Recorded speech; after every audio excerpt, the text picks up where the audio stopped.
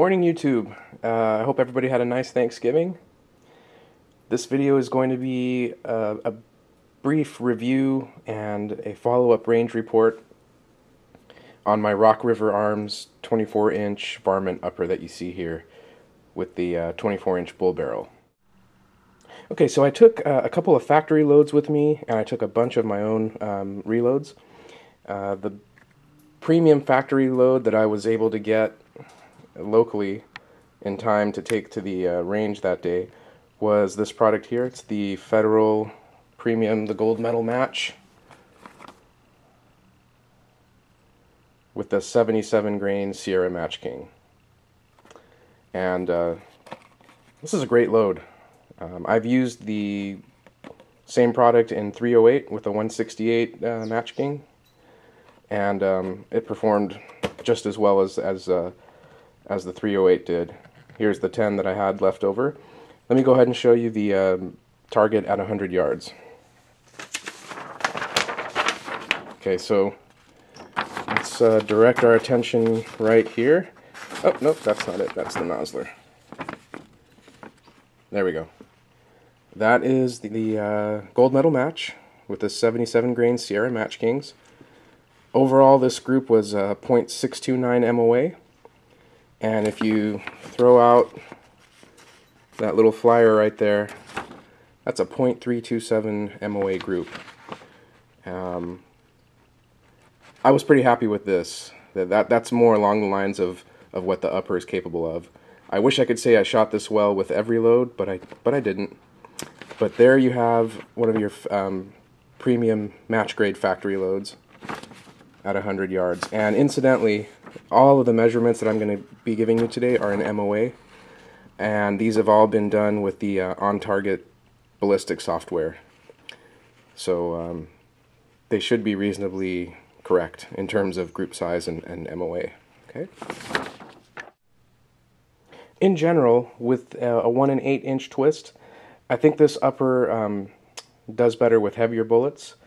Uh, but I did go ahead and, and try out some of the lighter bullets, and I got pretty good results with the uh, Nosler ballistic tip varmints. And it's not a um, match grade bullet per se, it's a Spitzer design. I'll show you one right here. But uh, it did pretty well. And I had a couple of moments of brilliance with it, and I'll show you that right now.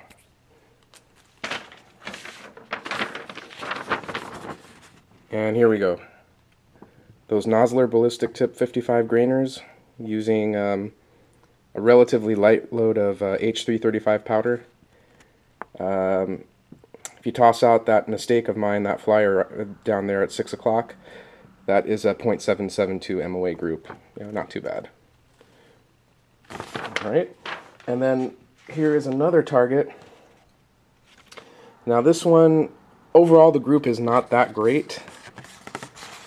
I measured it out at uh, 1.453 uh, MOA, but look at that three-shot cluster right there. That's a just under 0.3 MOA group. So again, in the hands of a, a better shooter with and, and or somebody with better equipment, um, this thing just performs flawlessly. But that's what it that's what it's capable of. I just wish I could get it all the time. This product here from Hornady showed a lot of promise, and I'm going to be buying some more of these. This is the um, match grade 68 grain hollow point bullet. This one right here.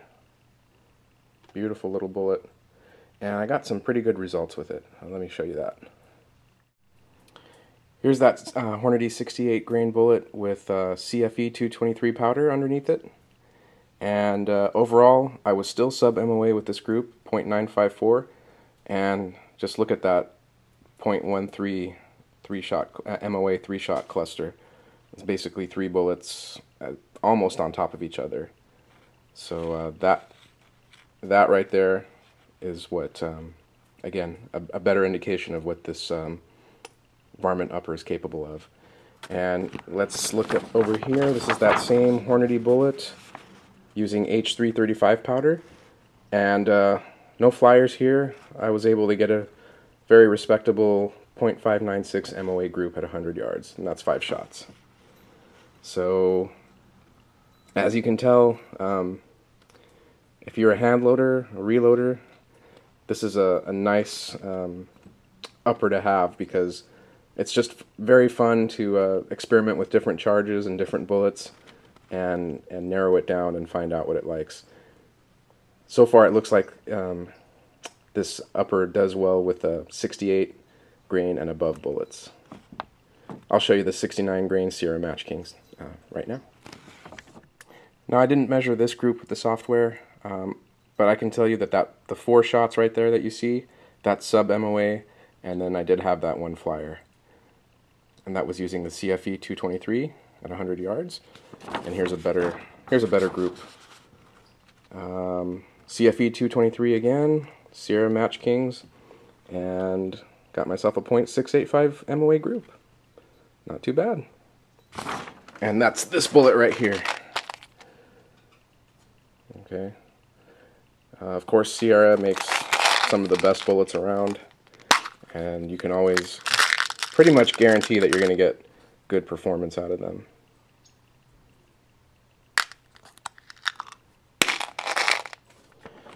Okay guys, before I talk about um, the review portion, let me just go, uh, go ahead and show you some of the results at 200 yards. I did take a, a few shots at 200. Uh, here's the first one. Here we are with that Hornady 68 grainer again. And uh, I just missed shooting an MOA group 1.225. Um, I did learn some valuable uh, lessons out on the range that uh, that day, and um, it's that I, I can't use these paper targets at 200 yards, at least with my scope. It's just um, it's too hard to see where the reticle lines up with the um, uh, the crosshairs here on the target, unless you're using the main um, the big group in the middle of the target. So I'm going to be ordering some of the um, orange uh, Caldwell, I believe. They're like the Shoot-N-Cs. Um, and I'm, I'm going to be using those. And these circles are just too small to see um, effectively at 200 yards. But anyways, here is the Federal uh, factory load, a gold medal match at 200 yards. I did have that. That was an obvious flyer. I mean, you can tell there's four shots right here, and then all of a sudden, uh, I'm pretty sure I jerked the trigger or something. If you count the flyer, 1.384 MOAs, um, and if it's if you exclude the flyer, look at that, 0.549 MOA at 200 yards. It's not too bad. Not too bad at all. Oh, I almost forgot. There's one more group at 200 yards. this is with the Nosler 55 grain uh, varmint bullet. 1.124 MOA for the five shots. And if you toss out that flyer right there, goes down to 0.703 MOA. And again, that's at 200 yards. So I was I was pretty happy with that as well.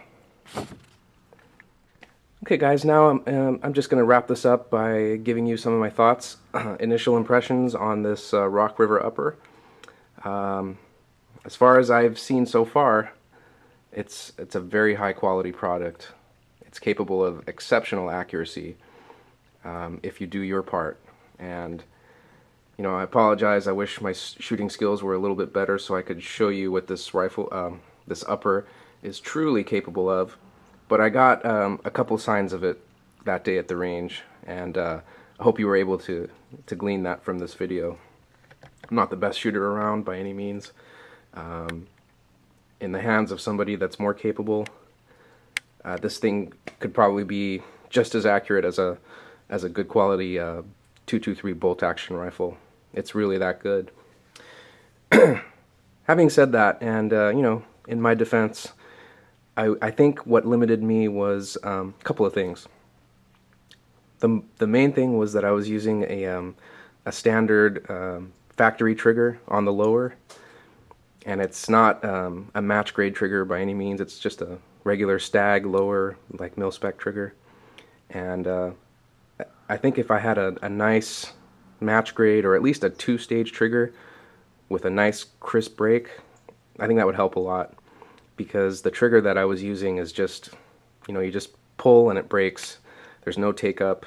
There's no, um, it's not match grade. Let me just say that, you know, a better trigger would have helped me. Not sure how much, but um, I think it would make a difference. And that's probably going to be something that I'm going to be looking at buying um, next year. Maybe a, a Jewell, or if that's too expensive, maybe a, just a nice Timney trigger, something like that. Just anything, you know, uh, something better than, than what I was using. Uh, the other thing, you know, the scope that I was using on the uh, rifle, kind of had a tough time getting um, a good eye relief. And to that end, I'm going to go ahead and order, I believe I'm going to order the Burris uh, AR Pepper, P-E-P-R uh, scope mount, which gives you better eye relief, kind of positions that scope further forward on that rail, and I think that'll help me out because it was it was not too comfortable shooting this thing. I shot about 200 rounds out of it. So it, it did get a little tiring trying to get that eye relief, but no excuses, you know. I'm a grown man and I can tell you that this thing is much, much better than I am. And that takes me to my uh, final point, and that th that's that this upper is kind of a, a nice teaching tool because, I mean, let's face it, there's only a handful of people that can outshoot this thing. You know, just the very, very best shooters. Recreational shooters like myself, uh, this is a great learning tool because it really points out your mistakes and, and magnifies them. So I think it was a good purchase. Um, got a long ways to go uh, to catch up with the um, inherent accuracy of this uh, upper, but it's uh, it's great fun. I, I, really enjoyed shooting it. Um, now, disadvantages are if you're a hunter, this thing is very heavy. Uh, when I have this upper on there, it's it's heavier than even my 308 Remington 700. So this is something that you definitely want to shoot from a rest or a table, you know, if you're shooting varmints or whatever. I, of course you could lug it around, but it, it, it's quite heavy, so that's probably the main disadvantage. Um, muzzle report was, was very smooth. You know, um, if you guys have been at the range and there's somebody next to you with a, with a short AR or a, like one of those AR pistols and it's got a muzzle brake, it's not fun sitting next to them. And this thing is quite um, quiet for a, for a 223 and uh, recoil. The 223 556 has very little recoil, but with this upper, it's almost imperceptible. Very comfortable to shoot. You could shoot this thing all day long. You know, you could have a new shooter, a youth, child, uh, first-time shooter. It's not going to be a problem. Anyways, guys, I hope you enjoyed this review and range report. Wish I could have shot it better, but uh, it is what it is. Here's what I picked up at the um, reloading store that day. I'm going to give this a, a try. Benchmark uh, powder from Hodgdon.